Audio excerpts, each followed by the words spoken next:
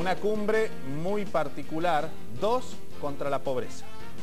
This is when we find out if we're making progress. And if we fail, it's corruption of the highest order, in my opinion.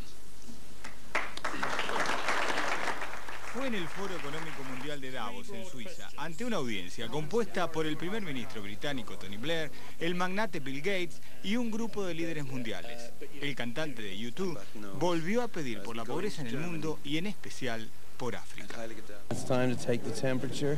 There were some serious um, promises um, uh, made. Checks were signed, but as we know, people sign checks. They like signing, uh, particularly politicians, but they don't like cashing them. And that's what we're going to find out. You know, from perspective, those checks weren't big enough in.